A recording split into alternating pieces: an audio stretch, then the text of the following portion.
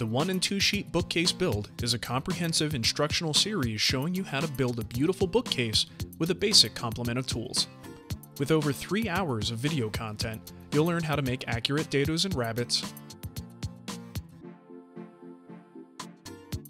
assemble casework, construct a traditional face frame, attach molding and edging, all using materials available from any home center.